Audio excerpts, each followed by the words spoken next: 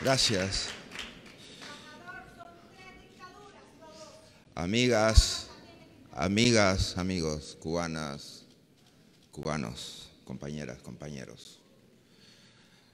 Es un uh, inmenso honor estar con ustedes hoy. Es, uh, por otra parte, un fuerte compromiso con lo que más creemos y con lo que debemos ser. Debemos siempre ser consecuentes con nuestra esencia primaria, que es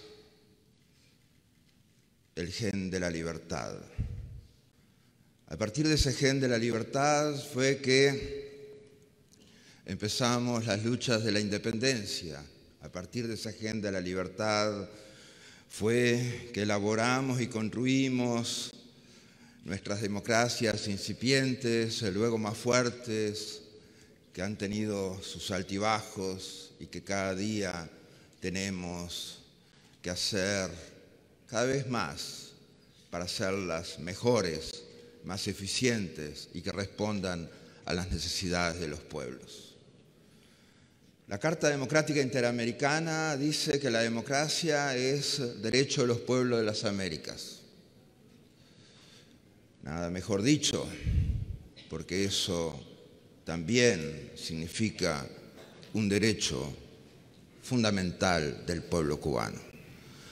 Y al estar en ese artículo primero de la Carta Democrática Interamericana, eso significa claramente que ese es el primer derecho. Sin ese derecho es muy difícil construir las sociedades que nos permitan el más pleno ejercicio de nuestras libertades, construir las instituciones que nos lleven al beneficio de tener la posibilidad de crear, de producir, de ser.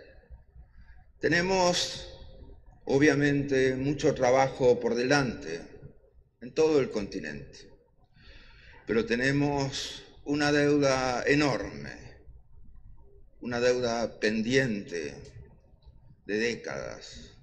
Esta dictadura, la más antigua del hemisferio, la deuda que tenemos con el pueblo cubano. Esa deuda, esa deuda con el pueblo cubano tiene que empezar a ser saldada. Esa deuda con el pueblo cubano no puede quedar así como está pendiente para siempre. Esa deuda la tenemos que cobrar y la tenemos que cobrar ejerciendo fundamentalmente la responsabilidad que tenemos de volver la democracia a Cuba. Tenemos eso eso significa claro que significa trabajo, claro que significa Compromiso, claro que significa valentía. La valentía de los cubanos que ha pagado precio altísimo en este continente, precio altísimo en fusilamientos, precio altísimo en tortura, en presos políticos, más que ninguna otra dictadura en el continente, más que ninguna otra dictadura en el hemisferio. Y no que nos queda muy claro, nos queda muy claro que las políticas de entibiamiento, de apaciguamiento, solamente dan oxígeno. No es admisible, no son admisibles, no son admisibles las diplomacias tibias, con dictaduras que no respetan el menor de los derechos, definitivamente empujan a los pueblos por los precipicios más oscuros, por los dolores más fuertes. Nosotros tenemos que rescatar a los que han caído en las dictaduras. Tenemos que empezar, empezar por la dictadura cubana. Tenemos que empezar por la dictadura cubana. Mientras haya, mientras haya dictadura en Cuba, vamos a tener polarización en todo el continente. Mientras haya dictadura en Cuba, va a haber desestabilización en todo el continente. Mientras haya dictadura en cada uno de los países, mientras haya dictadura en Cuba, definitivamente, definitivamente vamos a sufrir en cada uno de nuestros países, en cada uno de nuestros países. Definitivamente.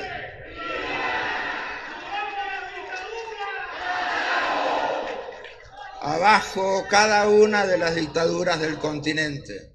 Abajo cada uno de los dictadores del continente. Abajo cada uno de los que definitivamente llevan a la desestabilización en, en nuestros países. Tenemos que luchar más fuertemente, tenemos que ser cada vez más consecuentes con la realidad que vivimos. Porque no es una realidad que vivimos ahora, es una realidad que hemos vivido por décadas. Durante cuántas décadas la dictadura cubana patrocinó, financió, promocionó guerrillas en cada uno de nuestros países. Durante cuántas décadas llevó adelante, impulsó políticas que llevaran al enfrentamiento entre hermanos, entre conciudadanos, entre compañeros, en las propias familias. Dentro de todo lo que sabemos de la historia del continente, este, esta ha sido la peor enfermedad, la peor dictadura de todas. Y por eso tenemos que empezar por liberar Cuba. Y el día que liberemos Cuba habremos erradicado las demás dictaduras del continente. Una vez que hayamos erradicado la dictadura cubana, habremos logrado dado el paso fundamental para erradicar todas las dictaduras del continente. Pero además para erradicar todas aquellas prácticas que llevan consigo, que permean, que afectan, que desestabilizan nuestros sistemas democráticos en el continente. De ninguna, de ninguna manera podemos cejar en nuestro esfuerzo. Acciones, medidas como las que se nos eh, han presentado hoy, definitivamente son un paso fuertísimo para ejercer presión. La diplomacia tibia nunca va a erradicar una dictadura. La diplomacia, la diplomacia meliá nunca va a erradicar una dictadura.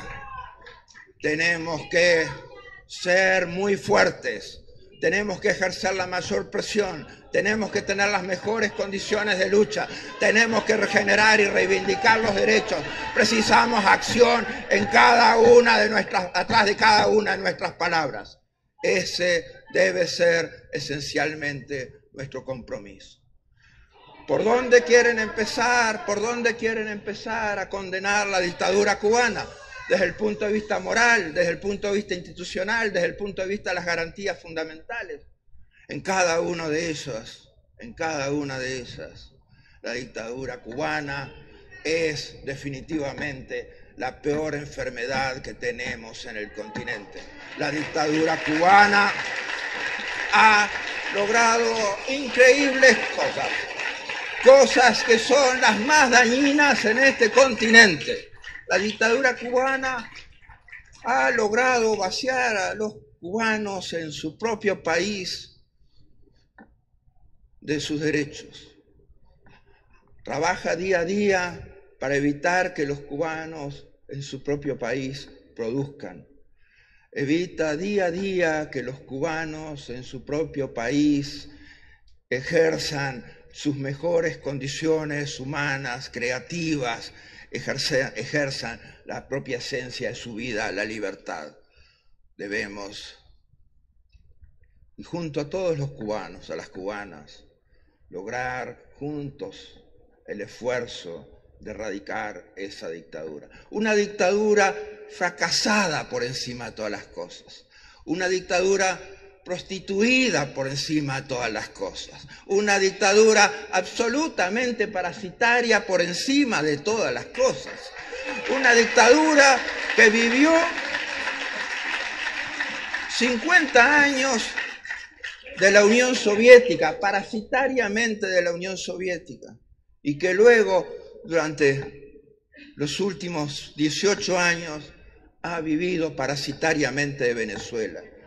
Y luego de que la riqueza de Venezuela ha sido completamente vaciada, la siguen succionando. A pesar de que Venezuela vive la peor crisis humanitaria que se ha visto en todo el continente, siguen succionando sangre del pueblo venezolano. Definitivamente no es permisible. Pero por eso digo, tenemos que empezar por Cuba. Si no empezamos por Cuba, no resolvemos la causa, el origen fundamental del problema que tenemos en el continente. Tenemos que trabajar juntos.